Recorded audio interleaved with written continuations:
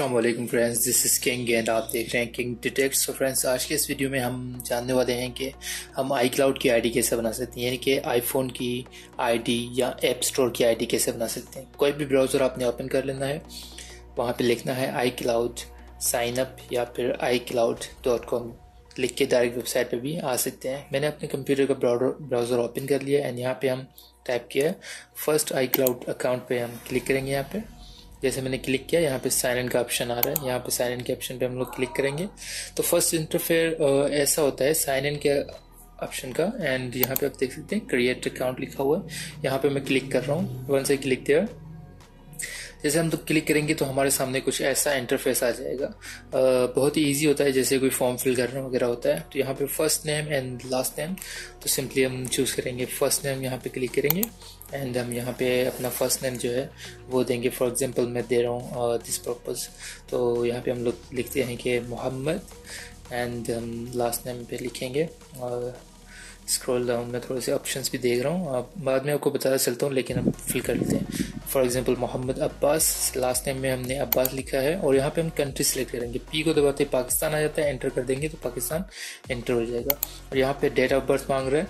First date यानी कि दिन, और सेकेंड एम एम यानी कि मंथ्स और थर्ड जो है Y Y Y Y Y तो एम एम में मंथ्स लिखने हैं और वाई वाई वाई इसमें ईयर्स लिखने हैं, यानी कि साल लिखने हैं।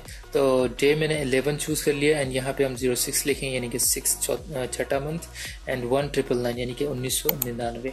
और हम यहाँ पे टाइप करेंगे हमारा मोबाइल नंबर, जो आप देख सकते हैं, मैं अपना मोबाइल नंबर यहाँ पे टाइप कर रहा हूँ। बहुत ही इजी मेथड है फ्रेंड इसमें कोई इतना बड़ा प्रोसेस नहीं है। नॉर्मली जिस तरह हम व्हाट्सएप के अकाउंट बनाते हैं या फेसबुक का अकाउंट बनाते हैं, उसी तरह आईफोन या आई आई क्लाउड का अकाउंट भी बन सकता है। तो हमें जी की ज़रूरत यहाँ पे पड़ेगी। मैं यहाँ पे अपनी जी की आईडी ओपन कर लेता हूँ। For example Gmail dot com इससे डायरेक्ट जो है ना मैं मेल में पहुँच जाऊँगा। तो as you can see friends यहाँ से मैं अपनी जी मेल की आईडी को कॉपी कर रहा हूँ। कंट्रोल सी दबा के कॉपी कर सकते हैं हम लोग। कंट्रोल सी दबा के कॉपी कर दिया है और कंट्रोल वी करके यहाँ पे हम लोग सिंपली क्या करेंगे पेस्ट करेंगे। तो फ्रेंड्स पासवर्ड के हवाले से थोड़ा सा बता चलूँ। पासवर्ड का पार्ट मैंने थोड़ा सा स्किप किया है क्योंकि पासवर्ड शो हो रहा था, बाद में हाइड किया था मैंने। तो पासवर्ड यहाँ पे एट कैरेक्टर से लेके सिक्सटीन कैरेक्टर तक का आप जो है ना एड कर सकते हैं। उसमें यानी कि lower character middle character and जो है साइम्बल्स भी ऐड करने पड़ते हैं। तो यहाँ पे मैंने कैप्चा एंटर कर दिया। कैप्चा एंटर करके हमने कंटिन्यू पे क्लिक करना है सिंपली ओके फ्रेंड्स आप क्या कर रहे हैं कि वेरीफाई योर ईमेल तो ईमेल में मैं आ गया हूँ। यहाँ पे हमें ये मेल सेंड करेंगे और वहाँ पे कोड होगा।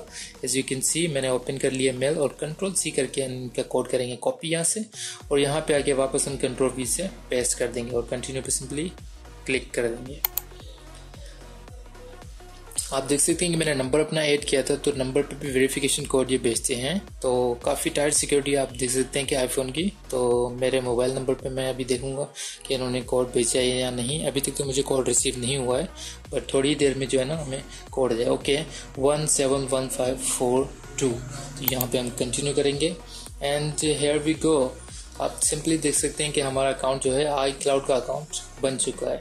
तो एज यू कैन सी फिर सामने टर्म्स एंड कंडीशंस आ रहे हैं।